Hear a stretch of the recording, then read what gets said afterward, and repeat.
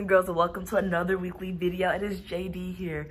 And guess what? We are in the month of June. All right, we are in summer. No more school. It's time to kick back, sit by the pool, chill outside, and just chill because we don't have to go through school. All right, so for this month, we have a new question. Okay, so our question of the month is who can help you do everything? Now let's think about it. Who can help you do everything? Do you, do you think you know the answer to that question? Who can help you do everything? Yes, Jesus can help us do everything. All right? He can help us be patient. He can help us love others. And um, he can help us um, have peace with others. Um, he can help us with everything that we need to do. All right, so for today, um, we're gonna think about different times that Jesus can help us um, in different places and um, in different times in our life, okay? And so um, I'm gonna give you a situation and I want you to tell me what can Jesus help you do, all right? And so here's an example. If I am at the park, what can Jesus help me do? What, what can I do um, that Jesus wants me to do? Hmm. Well, I can share my toys with other kids. Um, I can let somebody go down the slide first before me. Um, what else can Jesus help me do? He can help me be patient by um, letting someone swing before I get to swing. Yeah, those are different things that we can do. Um, and so I'm gonna give you two or three scenarios um, or times where Jesus can help you do nice things for others um, or just help you do cool things. All right, so how about this? Here we go. What can you do when you're at the store with your mom and dad? Okay? Tell me, what is something that you can do?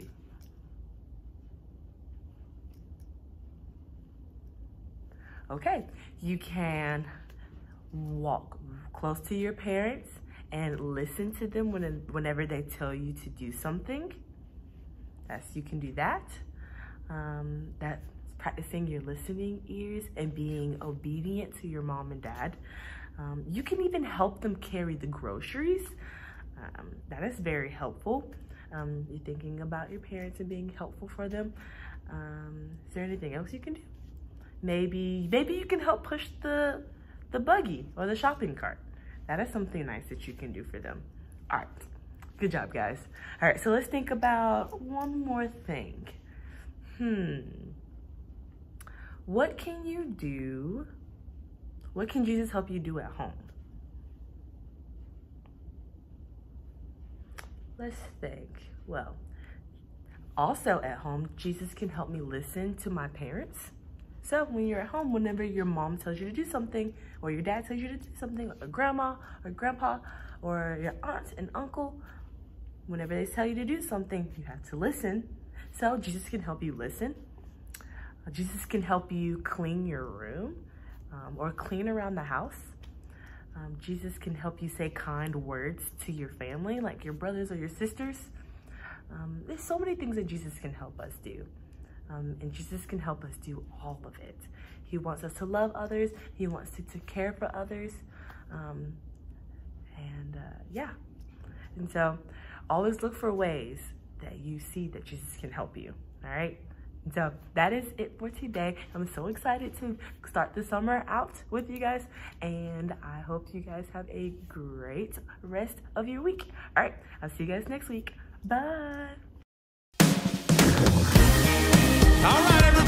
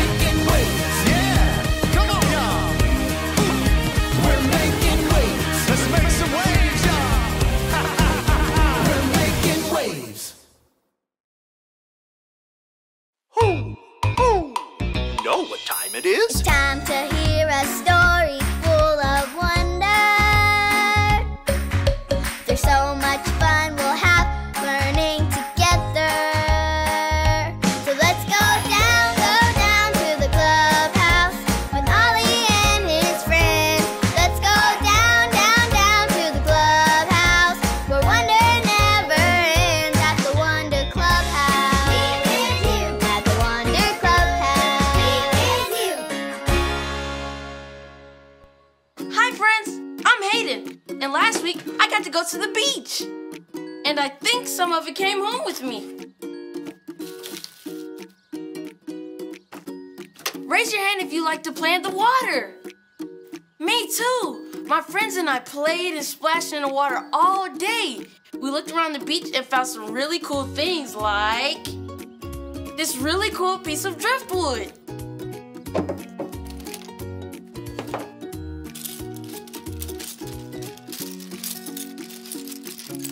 And so many shells. But the most fun thing we found was really cool painted rocks. Some people painted them and hid them in places on the beach. Do you know what's on this rock? Shout it out if you know.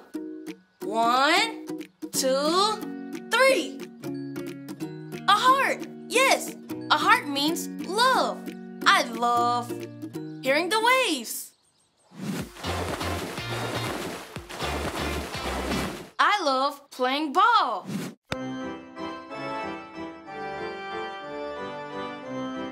I love eating lollipops. There's so many things to love. Who? Who? It's Ollie. Hello, Hayden. Who? Who? Found some treasures at the beach, did you? Oh, hi, Ollie. Someone painted this cool heart rock, and it reminds me of all the things I love. Love is important. It's true. I know the biggest love ever for you. Listen to this story. Just follow me through. Who? Who? Follow me through, follow me through.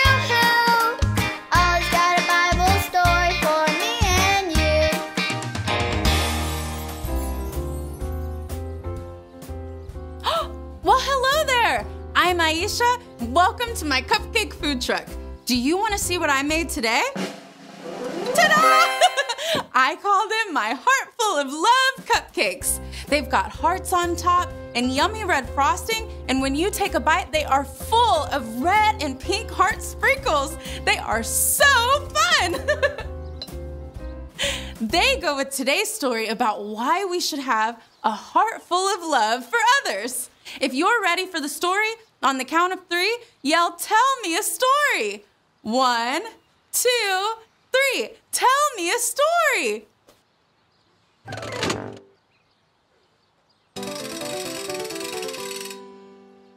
Today's true story from the Bible starts with God.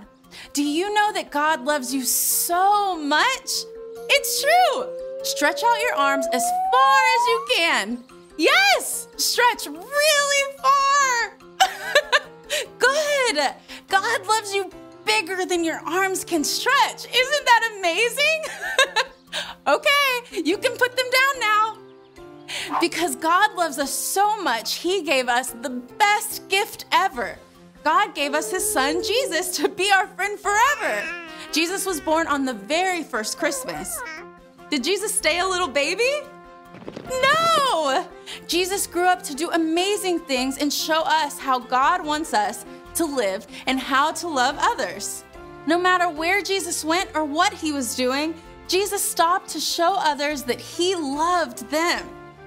One day, Jesus stopped to talk to a man named Zacchaeus, even though Zacchaeus had made lots of bad choices. Jesus loved Zacchaeus no matter what. Then, another day, Jesus had been teaching all day, and he wanted to take a rest. But Jesus loved the crowd and wanted to help them, so he kept teaching them instead of going away. There was also a time when one of Jesus' friends, Peter, told people that he didn't know Jesus and wasn't friends with him. How would you feel if someone said they weren't your friend? I would feel sad and it would probably be hard to forgive them. But Jesus did forgive Peter. Jesus loved Peter and forgave him for telling people they weren't friends. Jesus is an amazing friend, and God sent him to show us how to love everyone. Jesus taught us to stop and listen to our friends. Jesus taught us to help our friends. Jesus taught us to forgive our friends. When we stop to listen, help, and forgive, we are loving like Jesus taught us to. Jesus can help us love everyone. Jesus can help us do everything. Did you like the story? If you did, give it two thumbs up. Two thumbs up. hey there, Ollie. Tell me, who can help you do everything? Jesus can help me do everything. Yes, it's true. Now, let's hear it from you. Tell me, who can help you do everything? Jesus can help me do everything. That's the truth, friends. You better believe it. See you next time. Bye. So there's your story, and it's all true. God loves us so much. He gave Jesus so we can choose love in all we do. Thanks, Ollie. Goodbye to you. Hoo, hoo. Wow! God loves us so much that He gave us Jesus to be our friend forever. Jesus can help me choose to love, and love can change the world. I think I got the story. Did you get it? If you did, say got it. Get it? Got it! Good!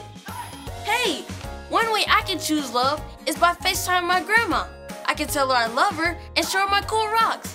See you next time.